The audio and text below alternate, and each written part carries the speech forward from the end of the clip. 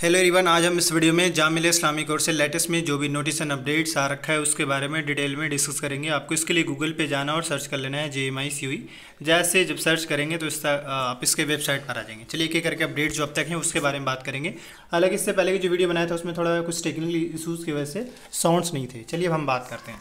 देखिए, सबसे पहले तो अपडेट ये मैं दे दूँ कि जो भी स्टूडेंट इस बार जामे में जिनका सिलेक्शन हो चुका है या फिर जो एडमिशन ले चुके हैं या फिर अपकमिंग में एडमिशन लेंगे उनकी फ़िज़िकल क्लासेस या ऑफलाइन क्लासेस को लेकर अगर बात करें तो फाइनली स्टार्ट होना शुरू हो चुका है। जिसमें कल मुझे एक स्टूडेंट से अपडेट मिला है। बी ऑनर्स इंग्लिश का क्लास स्टार्ट करा दिया गया है। बाकी कोर्स का भी सुनने में का स्टार्ट होने वाला है या और भी कोर्स का बहुत जल्द स्टार्ट हो जाएँगे। ऐसे सिचुएशन में आपको ये करना है कि जिस भी डिपार्टमेंट में, जिस भी जगह पर आपका एडमिशन मिला है जाम में, आप अपने डिपार्टमेंट से थोड़ा अपडेटेड है क्योंकि आपकी क्लासेस कभी भी स्टार्ट कर दी जाएगी। नॉर्मली नोटिफिकेशन या एकेडमिक कैलेंडर में जामे का यही था कि आपके फ़र्स्ट फ़र्स्ट अगस्त से स्टार्ट करी जाएगी, लेकिन अभी कुछ का पहले से स्टार्ट भी करा दिया गया तो आप थोड़ा सा अपडेटेड है ऐसे टाइम में। मतलब फ़िज़िकल क्लासेस या ऑफलाइन क्लासेस को लेकर, क्योंकि आपके एडमिशन हो चुके हैं। हाँ ये है कि अब बहुत सारे ऐसे बच्चे हैं जो सेकेंड लिस्ट आने का इंतज़ार कर रहे हैं तो उनके पास सिवाय वेट करने का कोई ऑप्शन नहीं है, पहली बात। आपके कभी भी आ सकते हैं, मगर हाँ ये कि आप मान कर चलें कि अब मुहर्रम बाद ही बाकी कोर्स बाकी एडमिशन फॉर्मेलिटी जो है मुहर्रम बाद ही कंप्लीट करा ली जाएगी। चलिए नेक्स्ट अगर हम बात करें यहाँ पे सेकेंड जो अपडेट्स है वो हॉस्टल्स को लेकर, क्योंकि बहुत सारे स्टूडेंट जो जामे में पढ़ रहे हैं, जिनका इस बार सिलेक्शन हुआ है, चाहे बॉयज़ जो गर्ल्स हो हॉस्टल्स हॉस्टल्स को लेकर क्वेरीज आ रहे हैं।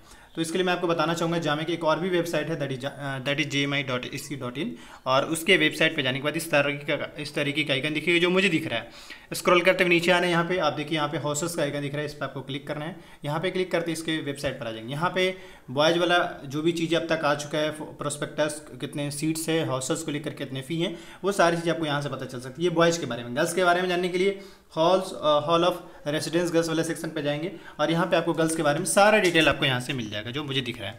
अब मैं आपको ये बताना चाह रहा हूँ फ़िलहाल कि हॉस्टल एडमिशन कब मिलेगी? हॉस्टल अलॉटमेंट कब होगा इसका? तो हॉस्टल अलॉटमेंट बेसिकली नॉर्मली कुछ भी नहीं तो जामे का एटलीस्ट एडमिशन के दो से थ्री मंथ्स बाद। मतलब आप मान कर चले कि सितंबर, अक्टूबर के आसपास में आपके हॉस्टल एडमिशन प्रोसेस स्टार्ट करी जाएगी, उससे पहले मुश्किल होगा। इतना समझ में आ गया? यानी हॉस्टल कब स्टार्ट होगा?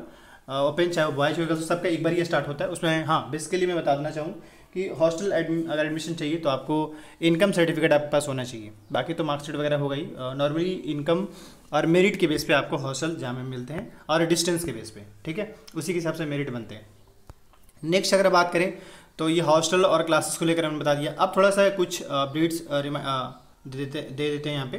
जब इसके वेबसाइट पे फिर से आएँगे यहाँ पे एक तो ये कि जो भी स्टूडेंट एडमिशन ले रहे हैं कॉलेज आईडी कार्ड यानी जाम, का कॉलेज आईडी कार्ड चाहिए तो उसका भी form at a time fill कर लीजिएगा जो भी स्टूडेंट एडमिशन ले रहे हैं।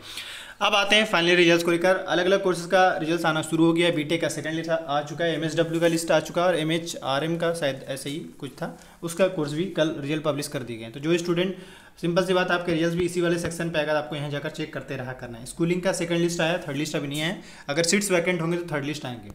वही डिस्टेंस फॉर्म का लास्ट डेट है थर्टी फ़र्स्ट जुलाई, जो बच्चे अभी तक नहीं फिल किए, वो फिल कर लें लास्ट डेट बाकी डिस्टेंस मोड में भी एडमिशन प्रोसेस स्टार्ट कर दिया गया है। मतलब पहले बी कॉम का स्टार्ट किया गया है, जो भी ऑनलाइन ऑफलाइन चूज़ किए हैं, वो उनके हिसाब से उनके एडमिशन स्टार्ट कर दिए गई ज़्यादा डिटेल के लिए बेहतर है कि आप एक बार जामिया जाएँ।